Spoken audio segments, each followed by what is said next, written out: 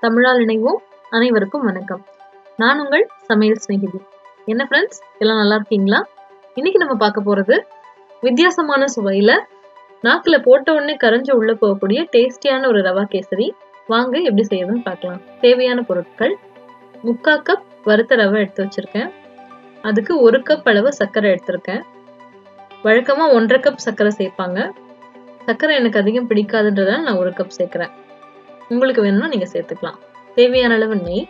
கொஞ்சம் குங்குமப்பூ எடுத்து வச்சிருக்கேன். இது வந்து இயற்கையாவே உங்களுக்கு கேசரிக்கு தேவையான கலரை கொடுத்துரும். உங்ககிட்ட இல்லைன்னா விட்டுறலாம். இது வந்து பூசணி விதை. இந்த கேசரிக்கு இது ரொம்ப நல்ல டேஸ்ட்டை கொடுக்கும். நிறைய எடுத்துக்கலாம். அப்புறம் தேவையான அளவுக்கு முந்திரி. எப்படி செய்யறதுன்னு பார்க்கலாம். அடுப்புல கடாய் வச்சு கடாய் காஞ்சதுக்கப்புறம் மூணு ஸ்பூன் அளவுக்கு நெய் சேர்த்துருக்கேன். நெய் நல்லா சூடானதுக்கு அப்புறம் அதுல நம்ம எடுத்து வச்சிருக்கிற முந்திரியும் பூசணி விதையும் சேர்த்து நல்லா பொன்னிறமாக வறுத்து எடுத்துக்கலாம். இந்த மாதிரி. இது ரெண்டும் நல்லா செவந்ததுக்கு அப்புறமா நம்ம எடுத்து வச்சிருக்க ரவையும் சேர்த்து கொட்டி நல்லா கிளறிக்கலாம். இந்த ரவை இந்த நெய்ல நல்லா வாசனை வர அளவுக்கு நல்லா வறுபடணும். அப்போதான் இந்த கேசரி வந்து மனமா இருக்கும். இப்ப பாருங்க நல்லா ட்ரையா இது ரோஸ்ட் ஆயிடுச்சு. இந்த டைம்ல தண்ணி சேர்க்கணும். எந்த கப்ல நம்ம ரவை அளந்தோமோ அதே பங்கு ரெண்டு மடங்கு தண்ணி சேர்க்கணும். ஒரு கப் நான் இப்போ சேர்த்துட்டேன். இந்த தண்ணி சுண்டும் போது இன்னொரு கப்பும் நான் சேர்த்துட்டேன். அதிக தண்ணி சேர்க்கக்கூடாது. அதிக தண்ணி சேர்த்தா இது ரவை உப்புமா மாதிரி ஆயிடும். தண்ணி கொஞ்சமாக தான் சேர்க்கணும். ஏன்னா நம்ம சர்க்கரை சேர்ப்போம். சர்க்கரை சேர்த்ததுக்கப்புறம் நீர்க்கும். இப்போ நம்ம எடுத்து வச்சிருக்க சர்க்கரை சேர்த்துக்கலாம். குங்குமப்பூவையும் சேர்த்துக்கலாம். இந்த குங்குமப்பூ இந்த ரவைக்கு கேசரிக்கு ரொம்ப நல்ல ஒரு கலரை கொடுக்கும்.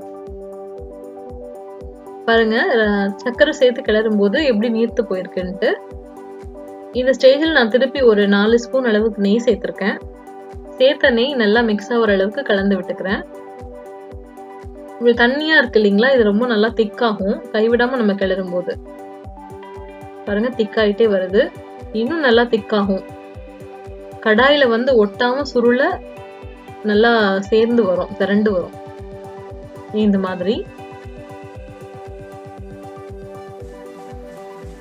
அடுப்பு மீடியம் ஃப்ளேம்ல இருக்கணும்.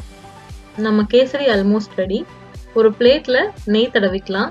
துண்டு போடுறதுக்கு ஈஸியா இருக்கும். பிளேட்ல ஒட்டாம வரும். இப்போ நெய் தடவின பிளேட்ல நம்ம எடுத்து வச்சிருக்கிற கேசரிய கொட்டிக்கலாம். இதை கொட்டி நல்லா நிரவிக்கணும்.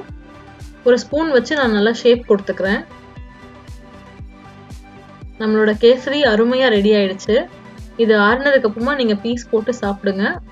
நிஜமா இது நாக்கில் வைக்கும் போதே கரைஞ்சி உள்ள போயிடும். டேஸ்ட் ரொம்ப நல்லா இருக்கும்.